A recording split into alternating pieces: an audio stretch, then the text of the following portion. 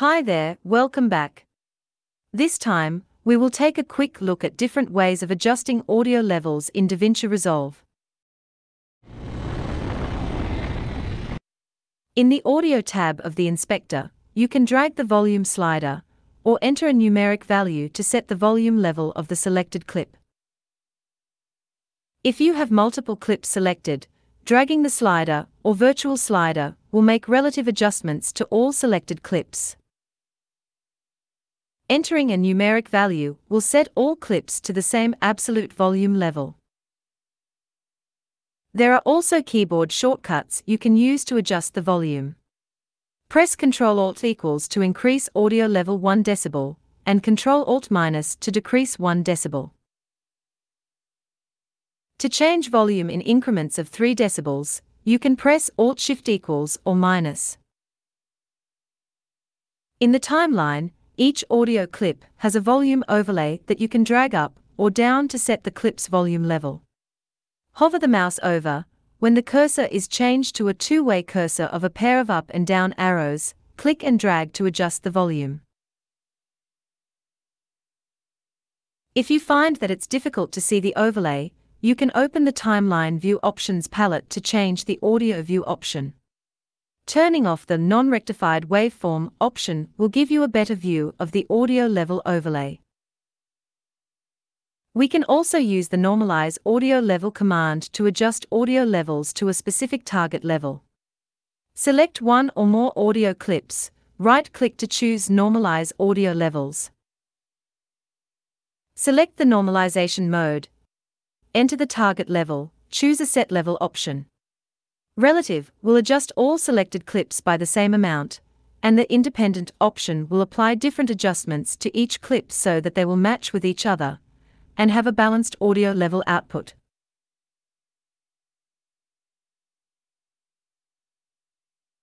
If you want to lower or increase the volume for only part of the clip, you can keyframe the volume parameter. Move the playhead to the place where you want to change volume. Go to the inspector, click the keyframe button to add a keyframe. Move the playhead forward a few frames, change the volume, and a keyframe is added automatically. Like keyframes of any other video parameters, right-click the keyframe button, you can choose ease in or out to smooth the volume transition. The volume overlay in the timeline also lets you create keyframes with simple mouse clicks, and adjust keyframe values by dragging up and down. Press and hold down the Alt key, click the level line to add a keyframe at that position. For a volume change we need at least two keyframes. Alt-click again to add another keyframe. We can now drag the volume level up and down to adjust the left or right side of the clip. If you want to change only the middle of the clip, Alt-click to add two more keyframes. Now dragging the line will only change the volume in the middle. You can also select and drag individual keyframe points to change the keyframe level values, or move keyframe positions. To open the Audio Curve editor, click the Audio Curve button at the bottom right corner of the audio clip. In the Audio Curve editor, you can also Alt-click to add keyframes, and drag to adjust keyframe values. Like other curve editors in DaVinci Resolve, you can select keyframe points, copy and paste keyframes, and delete keyframes. Or change the easing option for the selected keyframes. When a keyframe is set to ease in or out, you can drag the handle to adjust the curve if needed. Holding the Control key while dragging the handle will disconnect the handle on the other side and let you change the curve on one side only. To add and manage keyframes for audio panning, click to open the drop-down menu, check the pan option. Just like the volume curve, you can add and adjust panning keyframes on the curve line to get the effect you need. If you move the mouse over an audio clip, you will see two audio fade handles at the top. You can drag them to the middle and create audio fade up and down effects. Once the effect is created, there is a handle that appears in the middle, and you can drag around to adjust the fader curve.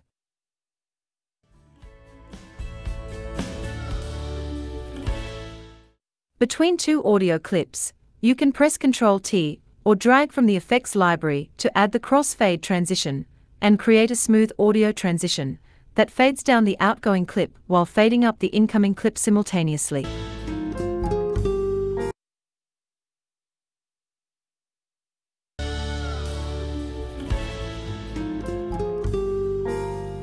For an asymmetrical crossfade, you can hold down the Control key while dragging the edge of transition to adjust the duration side by side. If you want to change the volume for audio tracks or the entire timeline, open the audio mixer. Where you can see strips correspond to the audio tracks in the timeline. Drag the slider to adjust the volume level of clips in that track. You can use the strip on the right side to adjust the overall volume level of the entire timeline. Double-clicking the slider will reset the level to default. If you just want to show the audio levels, open the option menu and choose meters.